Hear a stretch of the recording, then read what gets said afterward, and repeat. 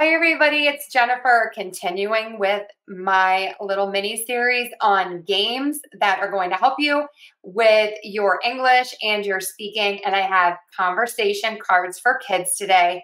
Love this. I reviewed the um, conversation cards for families last week. This one is for kids. Great for families, of course. Also great for you teachers out there, English teachers, um, just classroom teachers, speech therapists so much fun.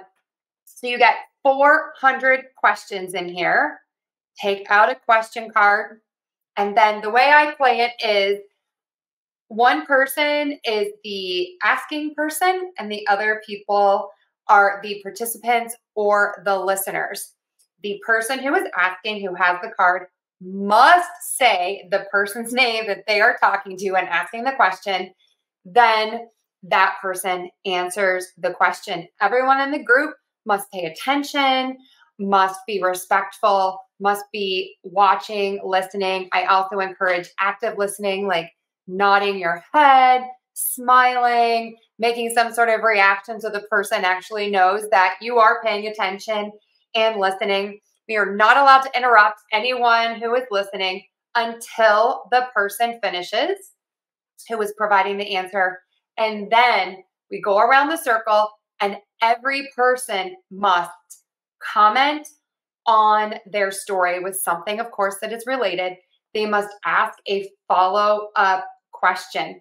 If I have a smaller group, I will allow people in the group to offer something that is related, which is maybe a related story to them or a related experience.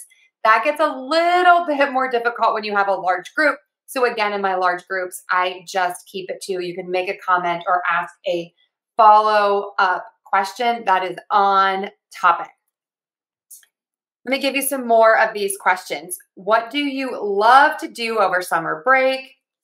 Which animated character are you most like? What makes someone good at sport? The writing is really nice. It's like super easy to read. Love that.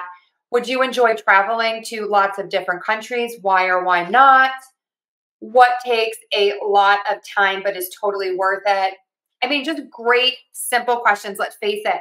When you are teaching all day, sometimes your brain just draws a blank and you can't think of anything. So, this is great. You can just pick one out super quickly.